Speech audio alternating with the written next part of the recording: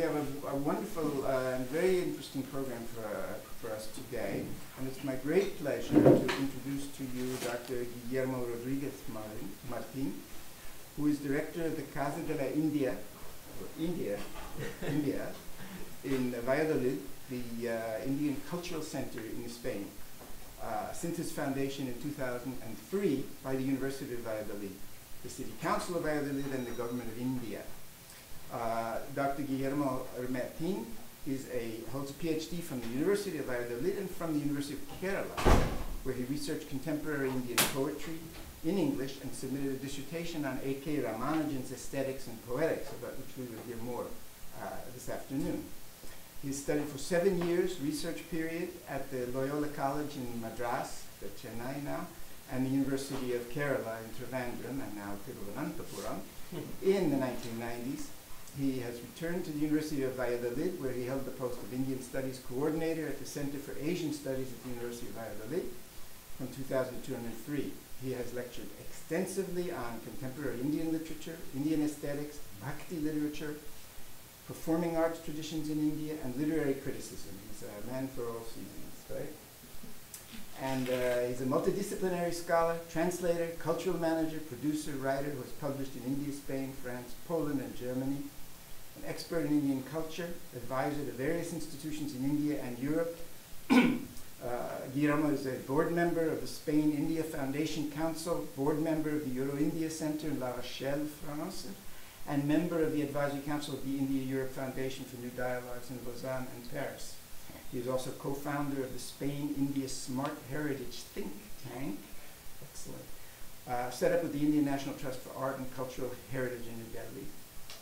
Uh, he received in 2010 the Gonzalez Sinde Award from the Spanish Academy of Cinematographic Arts and Sciences, and in 2012 he was awarded the Friendship Award by the Minister of External Affairs, Government of India, Government of India for his contribution to Indo-Spanish cultural relations.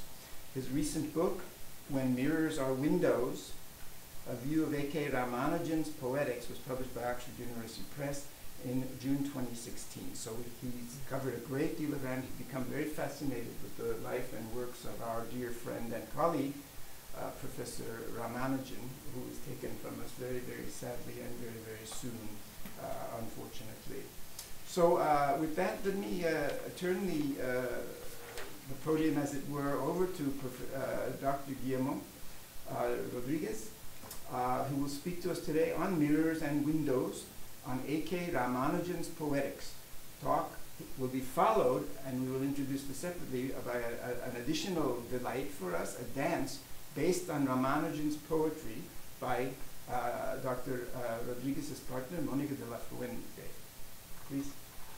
Thank you so much, um, Professor Goldman. I'm so thrilled to be here, and I would first of all like to thank the entire team that has made this possible, headed by uh, Professor Goldman. And um, it is obviously um, not easy to speak at a place which uh, had the man himself. A.K. Ramanujan was uh, known to travel to a number of universities. I, am very um, sure that uh, both the University of Chicago and the University of California were very dear to him. And I know that because I've been able to go through a lot of his um, documents this entire um, study was uh, mainly based on my research on the A.K. Ramanujan papers, which are at the University of Chicago. Uh, so I'm, it's, it's an honor for me to be here, and I'm very grateful for the Institute for having organized this. Um, I would like to start with introducing the, the man. And um, as many of you know, um, he became, uh, you know, quite uh, well known as a translator, as an anthropologist, as a folklorist, as a linguist, as a poet in his own right, uh, poet in two languages, poet in English and uh, poet in Kannada. In fact, he's taught in India um, in master's programs as an Indian poet writing English. I had the privilege of attending Loyola College in Chennai where, you know, the way I got introduced to Ramanujan was as a poet.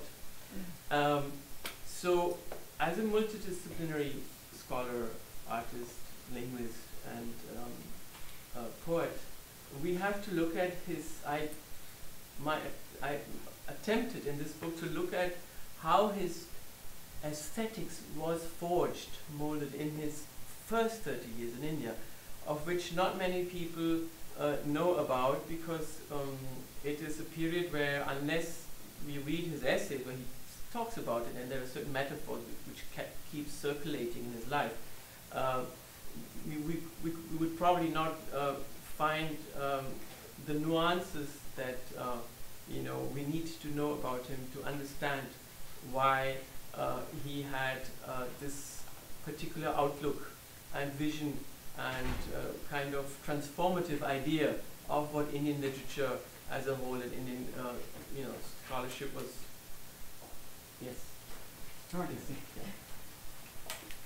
So we need to know uh, his third, first 30 years were so crucial to his way, the way he looked at, at India and the world. And, um, you know, um, I don't know how many of you are, um, have read any of his works, but um, let me just give you an outline in the chronological order. Ramanujan was uh, born in Mysore, present-day Karnataka. Uh, he was a Tamil Brahmin uh, whose parents were from the Chennai area, Madras area. And both his mother and father were Vaishnava uh, Brahmins. The um, metaphor of the house uh, was very important in his work. Um, it was a metaphor that stood for the multilingual and multicultural background. He was, as a Tamil Brahmin, familiar with Tamil language, but his first uh, literary language was Kannada. So he was living in a Kannada area, Kannada speaking area in present day Karnataka, Mysore. Um, but he was able to absorb the Tamil culture through his parents. His father uh, was a mathematician, and um, he used to joke that you know he he was his father was both an astronomer and an astrologer. So to him, science and uh, uh, other disciplines were not uh, a paradox, and he you know he had this. Um, he was nurtured in both the scientific and the traditional Indian uh, milieu.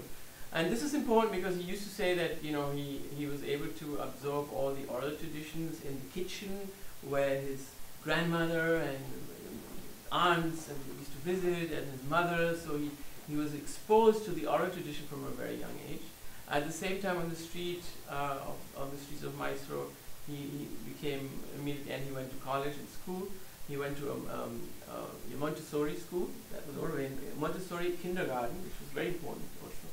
And he was immediately um, reading everything he could find, uh, encyclopedias, books, novels. His father's attic was well, uh, uh, you know, well established as, as a, as a both uh, Western and kind of in West, steeped in Western and Eastern wisdom you could find he could find all the romantics, the British uh, literature. He was exposed to uh, uh, philosophy. He would be able to absorb uh, all the you know the Western tradition at the time, as well as the Sanskrit uh, works that his father uh, used to used to store at home.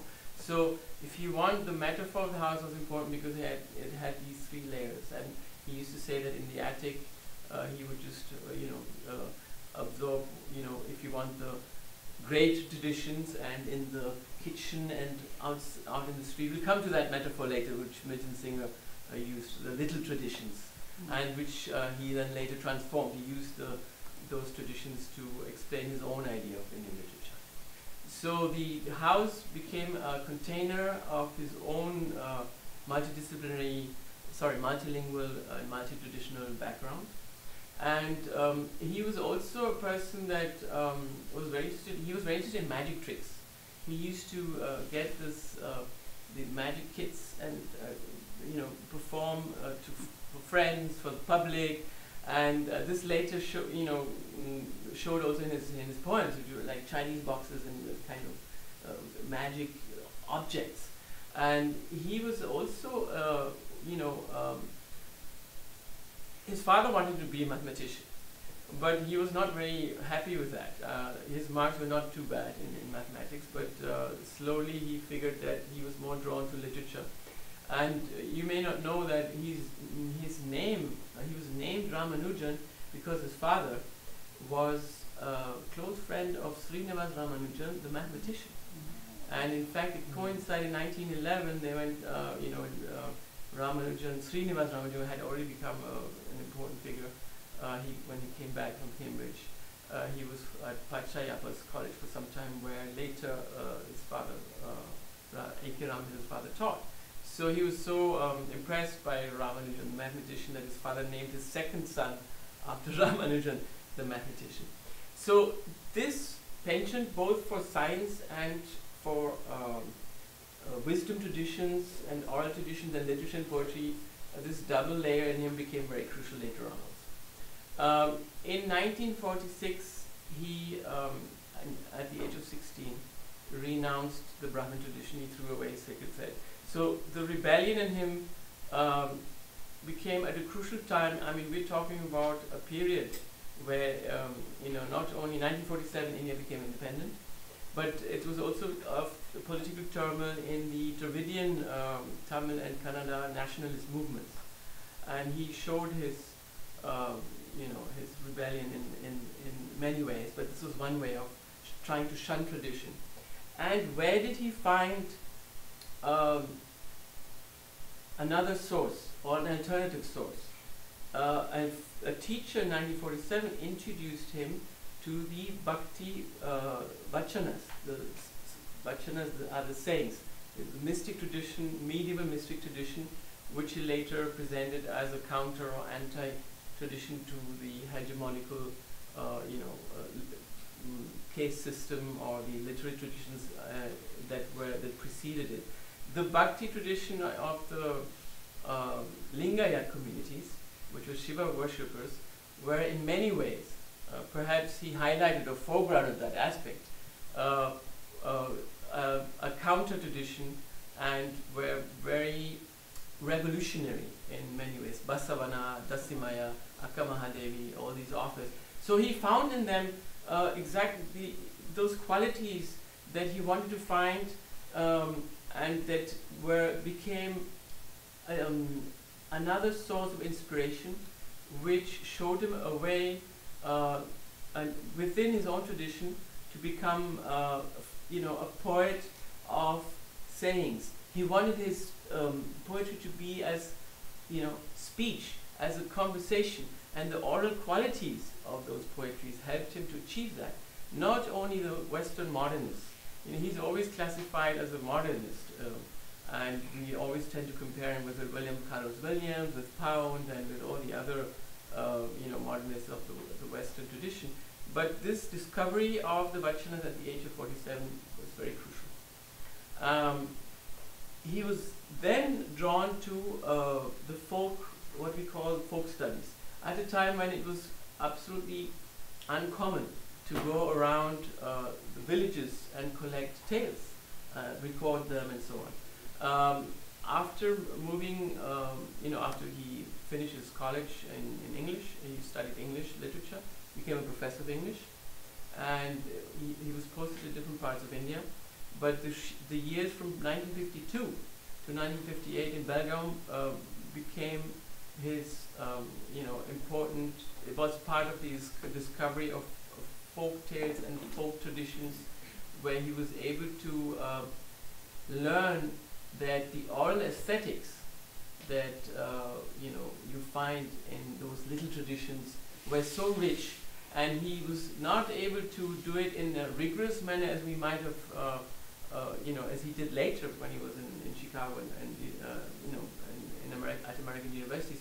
But he would he would also already start his note cards, which you find in his in his papers, where he would try to uh, compare, you know, the different uh, motives and try to compare it with you know all the resources he had available at the time. So he became he, he, he became kind of a, his own you know uh, master in analyzing these poems and later on brought in psychoanalysis. So this is his phase in Belgaum where he studied uh, folklore and he was able to record hundreds of tales and uh, you know look at them from a structuralist point of view. Then um, he uh, was drawn to linguistics, and he, uh, you know, that was another way of going back to his, the science and the scientific angle in him. He wanted, uh, you know, he needed that kind of uh, uh, scientific approach, uh, and in linguistics, which is the science of language, and in Saussure, he found that he could put his other the other part of his brain to use. He first started writing, scribbling poetry in Kannada. Uh, there are no um, texts in English, there's no English poetry uh, before 1946, but there are some texts in the papers already in Kannada in, from 1945. And he was also writing radio plays. Hmm? Radio plays. In fact, I brought a little radio piece, a vintage radio, uh, which um, will remind us of that, uh, which I will use, we will use in the performance. So he was very, very enthusiastic about performance. You know, radio plays were a way of, you know, uh, mm, performing uh, a story. Mm? A story was not something static. A story had its life. And he used to write these radio plays, and his uh, teachers at the college used to perform them. And he mm produced 25 radio plays for All India Radio mm, at the time, when he was just 16 or 17. So English poetry, he started to scribble around the age of 18. So that little later, 1947. And it more or less coincided with the period when he discovered the Vachanas, the Bhakti sayings. So he has a series of poems which he calls not exactly translations, he calls them after, you know, after Mahadeviyakka, after Basavanna, inspired by. And there's again a conflation of his own poetry with what he thought of as translations. And this is interesting because he always wanted to be part of the tradition. He wanted to inscribe his own work in the tradition of the both the Tamil Sangam tradition and the in the rich, uh, you know, South Indian Bhakti tradition. I mean, we come to that later. So his identification with his poets was very strong. Uh, he wanted to feel as if the poet, you know, for him, um, the poet had to become uh, in some way possessed by those uh, authors that not authors but because they were mystics who didn't write in the way we think about it but but but by the, the he, he, used to say and I read I phrase um, I read a phrase from him that is um, kind of a summary of what, what he thought about uh, translating. He said as, tr as a translator one translates to repossess one's past. Not only to realize the pastness of the past but the presence of the past. In this business of translating and retranslating from one tradition to another, funny things happen. Mm? And we'll see some of those funny things that, that happened and that happened to him. So his first 30 years end with a crucial uh, mm, mm, journey, and that is uh, he was able to get a Fulbright scholarship. In 1959, uh, after, you know, he had been studying linguistics in Pune, he got the scholarship to continue his linguistics at Indiana University Bloomington. Mm -hmm. So he boarded a ship which took him on a journey to Aden, Marseille, the site of the Paris, ended up in and went all the way to New York. And there's a diary that he wrote on the ship, mm. which I've, I've also mentioned in the book. So that's his first 30 years in a, in a nutshell. And what happened after that is perhaps better known and his discovery at University of Chicago in 1962 of the um, uh, some manuscripts of the classical Tamil Sangam period, which is which is another of his important uh, you know sources of inspiration. Um, as you know, uh, he translated a number of works uh, of that became mm, classics in their own right. So I just want to show you some of the books so that we relate the different kinds of, also chronologically.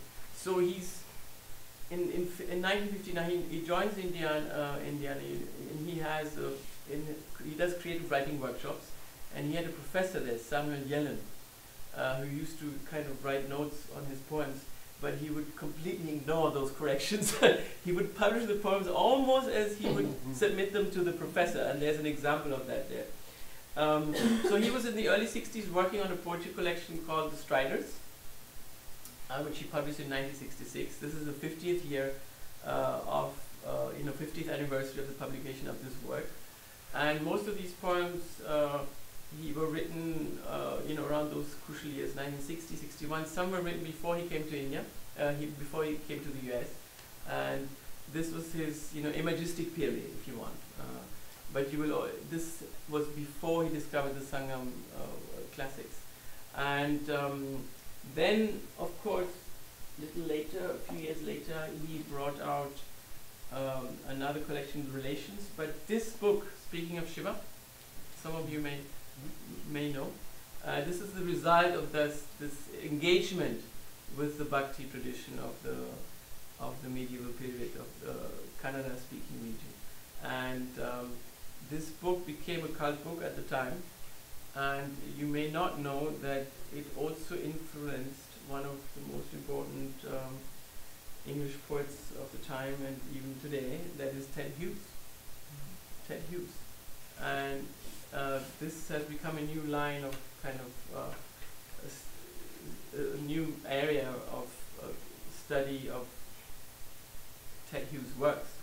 And um, my PhD guide, whose wife is a um, Kannada scholar, pointed this out at, at some conference uh, about 15 years ago and now there are these comparative studies where there's, there's a period in Ted Hughes' life which was influenced by the Vachanas I mean, they don't belong to anyone, but they were introduced to him through this work, speaking of Shiva.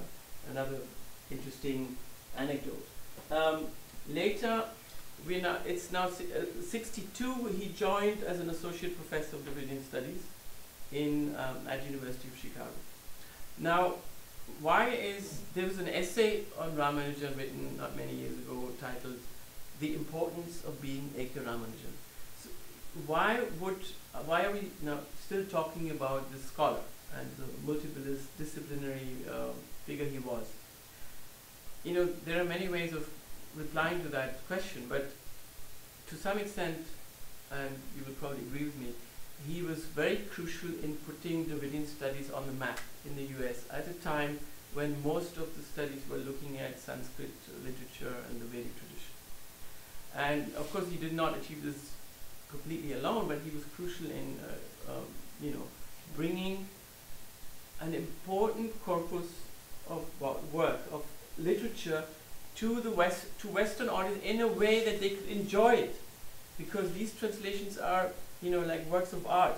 They're like new poems, um, you know, but at the same time, uh, very, very faithful to the original. Of course, there was some controversy afterwards that he is, you know, uh, some people said he wrote uh, the Vachanas as, you know, as if Akamadi kind of read like Sylvia Plath. Uh, Shiva Prakash said in, uh, uh, you know, the Lingayat um, critics. And there was some there was some controversy about the way he presented it, but he always said, I'm not translating text, but I'm translating the reader. So his effort of translating the reader um, is reflected in the way he took so much care in the introductions, afterward, forward, became crucial text to understand you know, the body of what he was translating. And, and, and contextualizing these texts was important to him. Not only did he bring those, you know, unknown traditions to Western audiences, but also to a lot of Indian audiences. And there's a whole generation of uh, even dancers who started to base their some of their works and got inspiration, uh, you know, by his translations of the Sangam tradition. Uh, so a lot of uh, mm, uh, you know scholars and general readers in India were able to access this these texts through his translations. And he has, you know, spawned a whole generation of, of translators. A lot of his students and colleagues were deeply inspired and influenced by his work. So, uh, uh, following the chronological uh, introduction, uh, there is, of course, an important point in his life, and um, he did not have an easy uh, or marriage with his wife, Molly Daniels. I think there's plenty of that has been also written about because it's there in his poem. So he married and divorced twice. Mm. Uh, he went through an important personal crisis in, in 71 after his first divorce. and he even experimented with, uh, to some extent, limited extent, with um, uh, mescaline, uh, the way Huxley had done 20 years before, and that's also there in the diaries. We've also built that into the performance. And that's crucial because uh, some of the poems that he scribbled after that experience mm, came or became a part of uh, another collection he published in 1986. So a lot of the students of his Indian poetry in English were surprised that after he published 1973, he published, um, um, uh, speaking of Shiva, he had already published his second collection, Relations, of his own poetry in 71. But between that and 1986, there was a long silence in his own uh, Indian poetry. He did not publish anything. He did publish, and he has his third love affair, that's with the Alvars, Nammalvar, the, the Tamil Bhakti tradition, which precedes the uh, Vachana tradition of, uh, of the Kannada speaking region.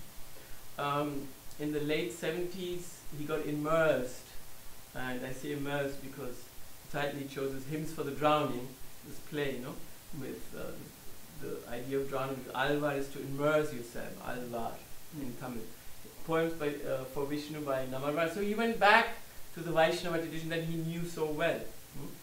And in between, he came up with a collection he never published, which was titled The Soma Poems. Soma, as you know, is the uh, Vedic god, the elixir of uh, uh, the gods, the, you know, inspiration. It can mean many things. Um, it is also a drug, if you want. And uh, there are many interpretations of what Soma at the time, uh, even when Doniger wrote an essay in the early 80s whether Soma was a mushroom, so this whole debate was going on as to what Soma really was. So he was interested in this idea because for him Soma was inspiration. For him, Soma was a metaphor. And um, Soma, of course, was also there in Aldous Huxley's work. So why did he not publish that body of work? He had about 50 or 60 poems that he called his Soma poems.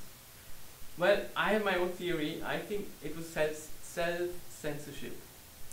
He was embarrassed by uh, the possibility of uh, readers comparing him or this idea with uh, Aldous Huxley and it was somehow embarrassing because they were very cheeky poems and very, um, you know, out of the box. It was very different kind of poetry.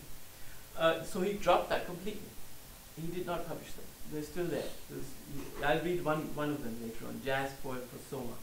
So Soma, he was, Soma was himself, Soma was the poet, Soma was inspiration, it, it was a metaphor. But he thought people would maybe misinterpret that. And um, uh, after that, he brought out Second Sight, which is a collection of poems which also has an interesting history. And that is, he worked on a big composition that was about 24 poems long. I mean, it had 24 sections. And he called it composition. He, he, he started that work in 1982. And again, this is very crucial because Ramanujan is a bridge, yes. He's a translator of traditions, of cultures, east, west. But let us also not forget the chronological bridge. He is, like many other scholars of his time, I mean, he was, he came to the US when, you know, Jakobson and a lot of the linguists and well, everything that happened there, CBO, 1960, 61, 62, early 60s, structuralism, you know, just flowering, and all these structuralist uh, anthropologists, Levi-Strauss was everywhere. But then moving on into the 80s, this was challenged by the postmodern approach, you know, you know, not only by Barthes in 1968, you know, Kristeva and other thinkers and Derrida. So there was a whole new, and you would probably know more about this, uh, uh, you know, challenge and intellectual uh, reassessment of a lot, a lot of the work, and he talks about that in his essays. But it, how did that affect his poetry? Of course it affected his poetry. a lot of his poetry after this Soma group of poems became very meta-poetic. Meta-poetic. And I'll come to that when I uh, discuss the title of the book, why I chose that title. Um, it became meta-poetic and interestingly what he did in 1984, he took that long piece of 24 sections and he chopped it in bits and pieces. You know, as if he wanted to say, no, but truth is in fragments. You know? And he inserted or grafted into those poems old texts he had written in the 50s, old poems he had never published. He just threw them in there as if, you know, to, you know, state that he was trying to create his own tradition, his own, uh, his own body of work and a dialogue between these old texts. Uh, because that was crucial. He was very interested in reflexivity, reflection, you know, with his own work and all these traditions, because the way he explained Indian literature was as a network, if you want, of uh, different types of reflexivity. In that beautiful essay, uh, Where Mirrors Are Windows, Where Mirrors Are Windows, an anthology of reflections in Indian literature, which opens his collected essay, works were collected in 95, and the second essay is Is There an Indian Way of Thinking? He um, describes or identifies three types of reflexivity in, um, in Indian literature. One is um, where a text responds to another, that he calls co co-text. And the second category is where a text uh, reflects on another, reacts, and that he would call countertext, uh, most countertext. And the third category is those texts which, which you know speak about themselves, which he called uh, the, you know the meta text, hmm? the text that speaks about itself. It's not that there are these categories, but you have these qualities in different ways. Of course, you could say this of many other traditions, not only the Indian tradition. You have a, a lot of self-reflexivity in, in Don Quixote, for example. Mm. But these are qualities he used to try and build a different uh, paradigm or a different um, set of tools or a meta language uh, along with this idea of context sensitivity to counter the whole idea of the categories of little traditions and the great tradition. He was constantly trying to find a way. So intertextuality was crucial for him as an idea and he played with, with that concept and it, it, it went quite well with the post-modern or post-structuralist ideas. In fact, many of you know, must know that Derrida has been interpreted from the Indian perspective also. There are a lot of essays around that. So there's a lot of Derrida in his last poetry collection, 1986, called Second Sight, which is quite metaphysical in, to some extent and very meta-poetic. There's a lot of meta-poetry. And a lot of the poems reflect on earlier poems even and so on. And then, and I end this uh, little introduction and uh, talk uh, by mentioning what happened when he, you know, what we found or what was found after he passed away.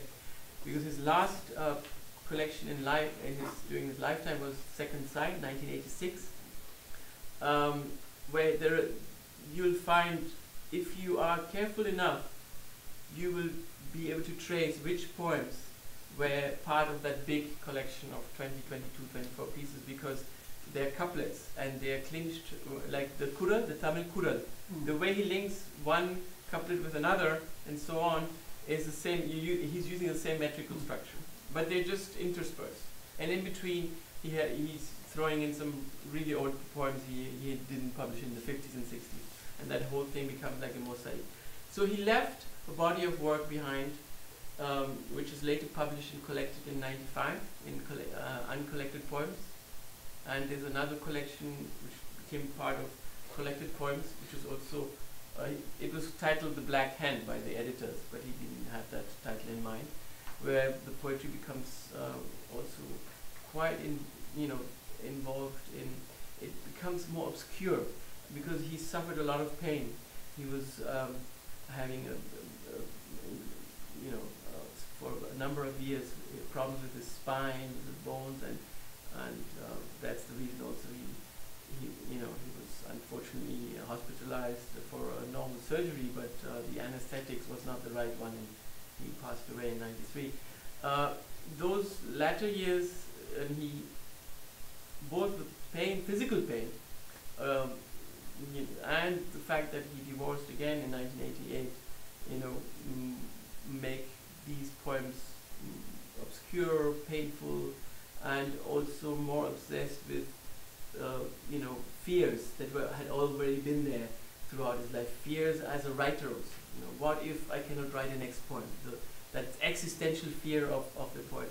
But uh, there's so much beautiful prose in his diaries of those years where he talks about the act of creation, the act of writing. So what I've tried to do in, in his um, in this analysis is to, to trace um, his uh, life using poetry as the metaphor and as the central axis of his scholarship. To me, his work as a linguist, as a translator, as an anthropologist, and um, as a scholar of so many different disciplines converge or flow into his poetics. And this is what I try to do. Uh, and what we will see uh, in a short while is a um, is an interpretation, a performance of his poetics, uh, which uh, we will do for the first time. We've done bits and pieces, and it's a homage to Ramanujan as somebody who believed that poetry is performance, and that poetry has to be experienced, poetry has to be embodied, and therefore I have asked Monica to join me in that performance. Thank you.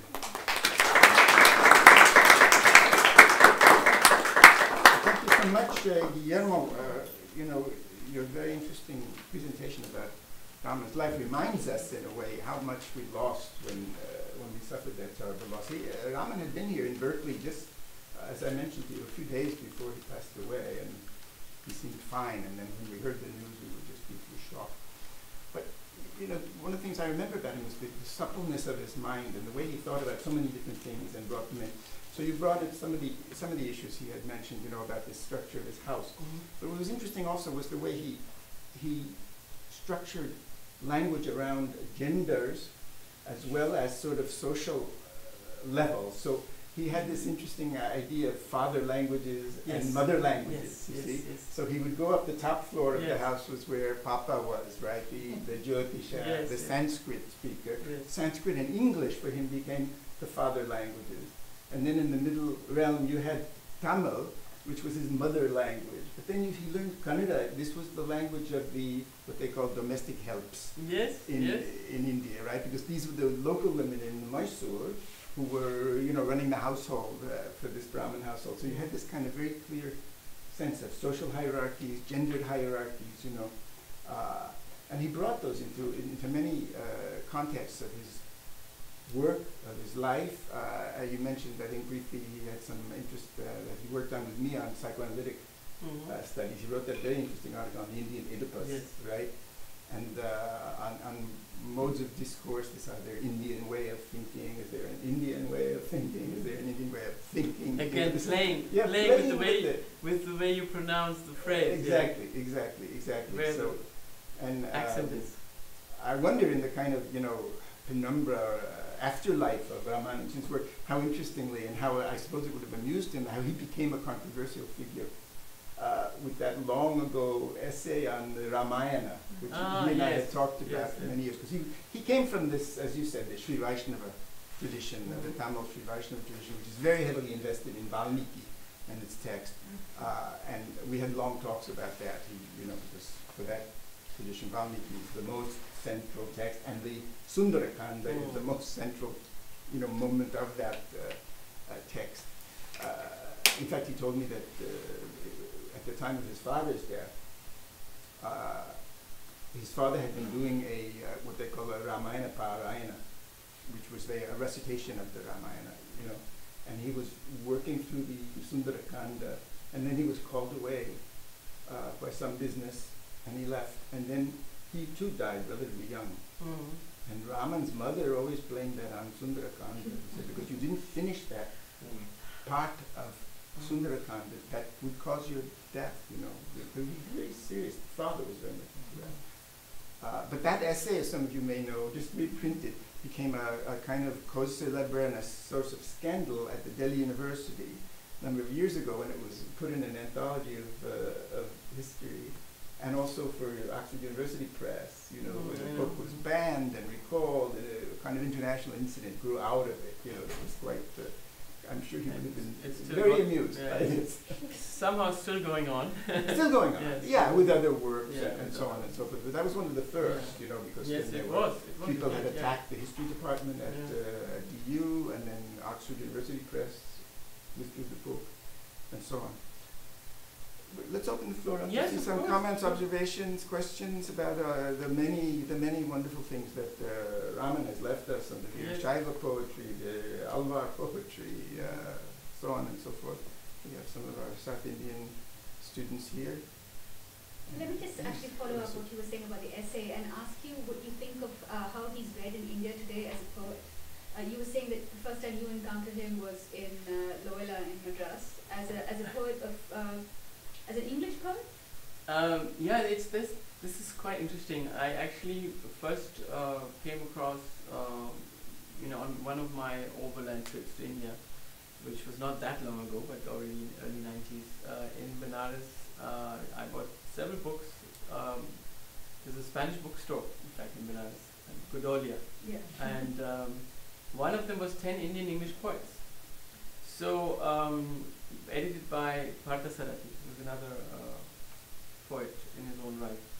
And it was very interesting to, you know, s- seek through the text and the poems, and I was immediately struck by the magic quality of, his of Ramanujan's work. I mean, he had this, uh, uh, this genius uh, whereby he could write a poem that uh, in such a way that it made you it made you reread it again. I don't know if you've read a poem like Snakes, which has this cyclical circles. It makes you read the poem again, and I could immediately sense that there are different layers in the, in the poem. So I left it there, and um, and then I bumped into Speaking of Shiva, and uh, after you know traveling and spending some time, this was my gap year after after college. I spent in college in Spain, and I had just been studying linguistics at Edinburgh University, stylistics. Uh, I, my wife Monica joined Kalakshetra in Chennai, and um, I was, you know, so immersed in reading, reading, and uh, tried to know more about. it. So I joined an MA program, Loyola College, where he, you know, Indian English poetry was taught, and they use, you know, uh, this anthology and a num- number of other anthologies, uh, and all the anthologies of those of the 70s and 80s have Ramanujan's poems. So he is known in India as a as a translator and as as mainly through Penguin and Oxford University Press. I mean his books. But at English departments, he's he's taught, uh, and um, so is Nissim Ezekiel, A.K. Mehrotra, and other poets, of course. But he's he's known for that, and um, but they don't present him as as a multidisciplinary scholar. I mean, they don't tell you you know read his essays. Also. I only found out much later. Uh, this was in '95, and his collected essays came out yeah, after that. That he had written. So I came across one po- uh, one essay, another essay. Uh, now it's probably changing, and depend it depends on which department you go to. And after this essay, you know, this is one of those funny things that something becomes controversial, everybody starts talking about A.K. Ramanujan again, you know. And um, I don't know if that has anything to do with why I, I now I've published the book, but certainly uh, they, they were very keen to do something on Ramanujan. And and this is uh, this is a text. This is a book that is aimed at or uh, you know will help those scholars and students that are interested in his work as an Indian poet understand uh, you know where this all this came from. And is not, you know, you can use it as a reference book. You can see, you know, Ramanujan and linguistics. So you go to that page, Ramanujan and structuralism or post-structuralism or Ramanujan and pragmatism. And so I try to bring in kind of a system of analyzing it, which comes from my German background because I grew up in Germany. So somebody said to me, Jason Grunow said to me, this cannot be written by, this is not a Spaniard. this is the German in you because it's it's it's it's got this systematic uh, you know approach.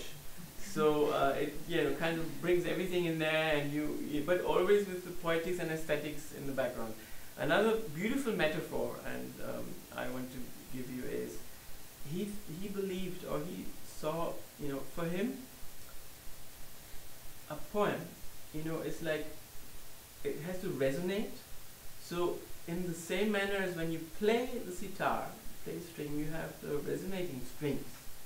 So it has to resonate with all that tradition and all the past, present, and future uh, poets that you know that have been part of your life, and it has to resonate with your with all that in the back in your background. Poem is that. It, it just has to be. It's part of this larger system. And I think that's a beautiful metaphor. It was also part of a performative theme for him. He had Yes. a beautiful way of reading his poetry, almost Yes. inimitable way of reading Yes, his poetry. yeah, I cannot do that. I cannot No, do it that. was, it was It's very impossible. difficult, Yeah. And his very low voice, Exactly, which is yeah. sometimes shriek, and there are some. The choreo the way he read these things was, was very striking. Um, Sorry, sorry that I get so passionate about. no, no. I don't know if you if I answered your No, you, question. you did certainly, and I just I wanted to no, I'll let um, Chrissy. Chrissy ask, but um, just wondered if you saw any parallels between the way since you brought up the other AK, um, Arvind Krishna Mehrotra's translations of Kabir Yeah. uh, that he did recently. Yes, yes. And and Parthasarathy also did. Uh, Right. y- you might know that he was.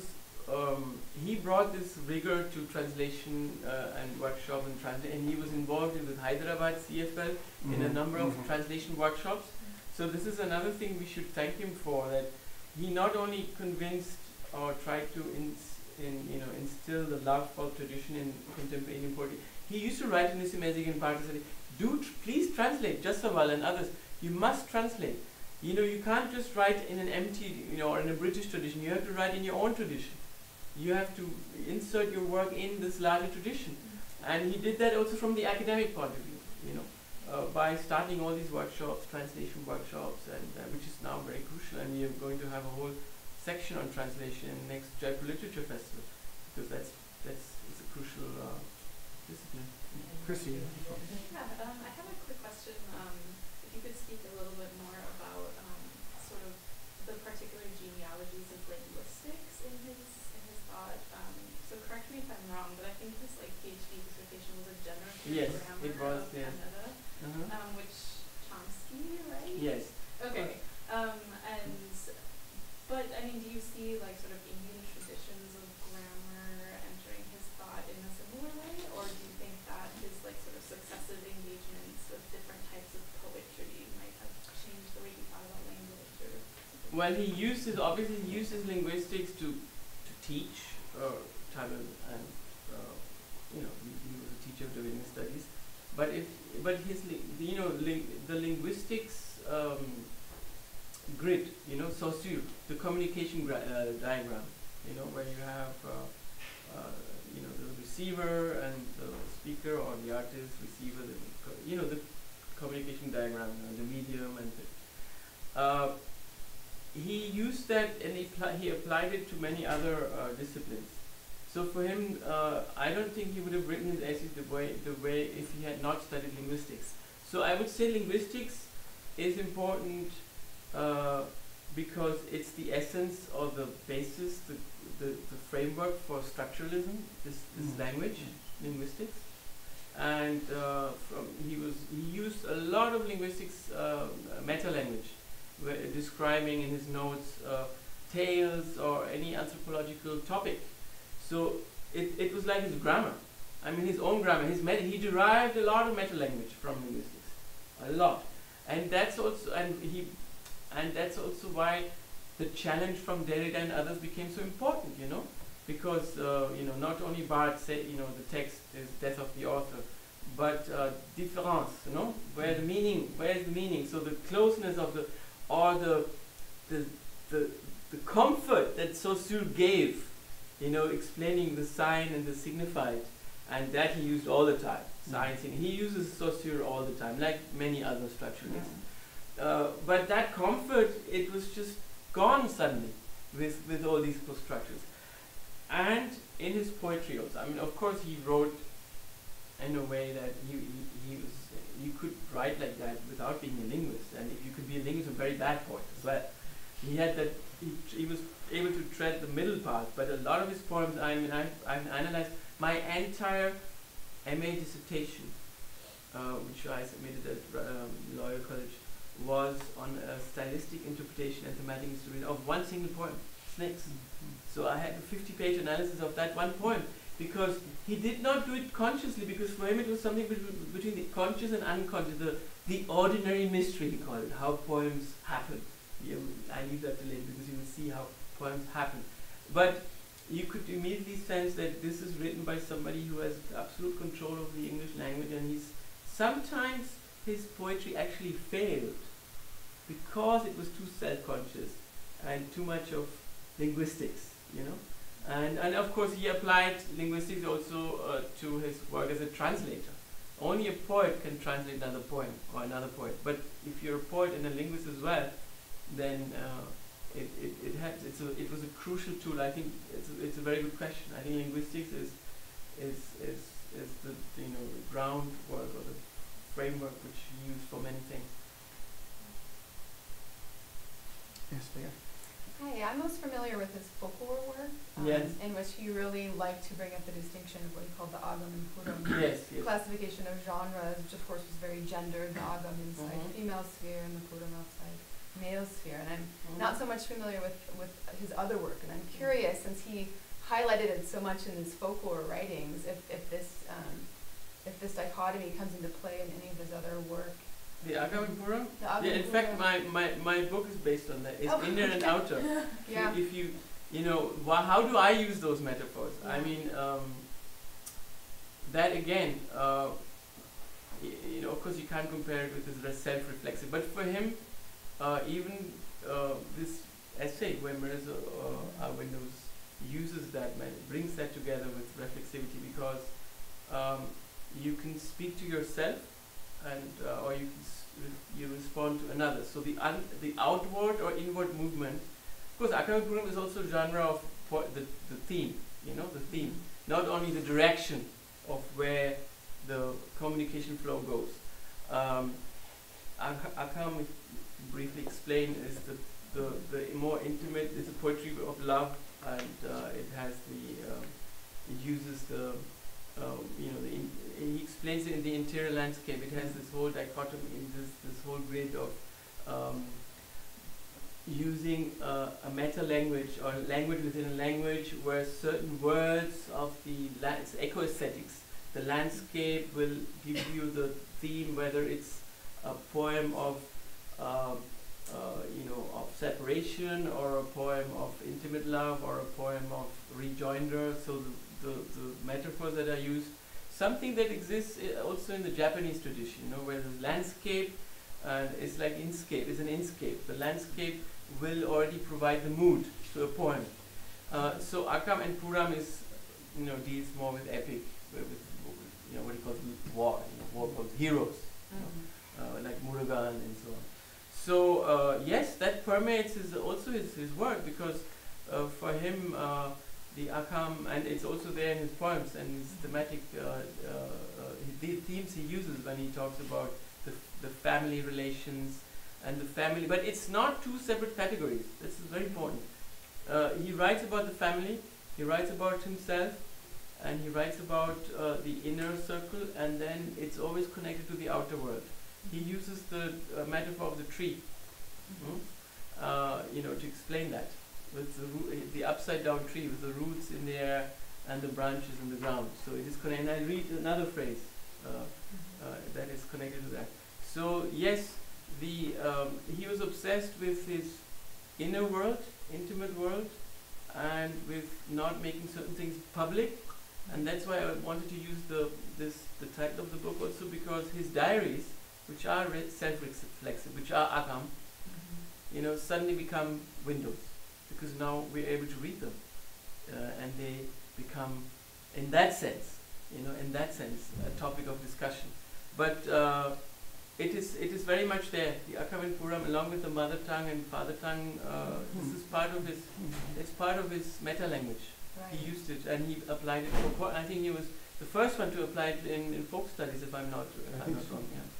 Yeah, and some of the, the with, you know, some of the talk about with, with folklore is a little, even on a more simplistic level, you were saying some of the agam genres are ones that the grandmother would tell the children at Yes, home in the kitchen while cooking, for example. Mhm. So it's very interesting to see how this very complicated weaves it into his poetry. Mhm. Yeah. And yeah, exactly.